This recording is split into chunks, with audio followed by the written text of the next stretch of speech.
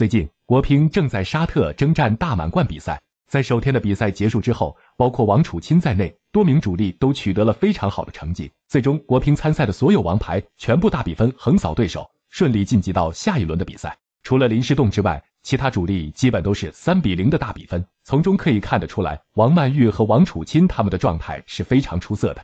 值得一提，伴随着国乒取得佳绩的同时，另外一方面，国乒男单有两大劲敌。则是爆冷出局一轮游，对于国乒男单接下来冲击本次大满贯的冠军，无疑是一个重大的利好。首先，在最近结束的男单小组赛中，爆出了本次比赛最大的冷门：世界排名第七的林昀儒，在对阵队友庄智渊的时候，居然爆冷零比三惨遭淘汰，一轮游无缘争夺冠军。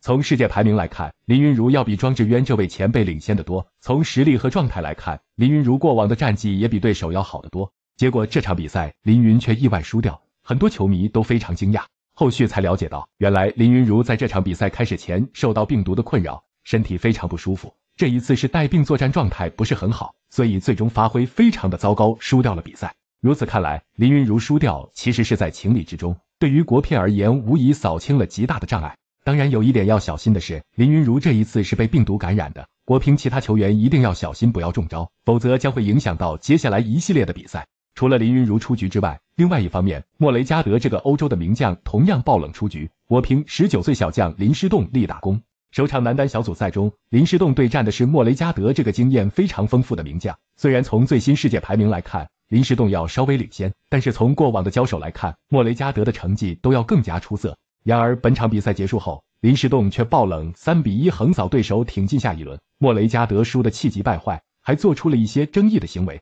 这样一来，包括莫雷加德和林昀儒在内的两名国乒男单劲敌都爆冷一轮游。接下来，马龙和王楚钦他们将会消除两大障碍，继续向冠军发起冲锋。对刘国梁来说，无疑是一个非常好的消息。除此之外，我们看到国乒女单方面也接连告捷，所有的主力都用佳绩告诉刘国梁，他们已经做好了准备。接下来不仅要冲击本次大满贯五个项目的冠军，更要向巴黎奥运会发起冲锋。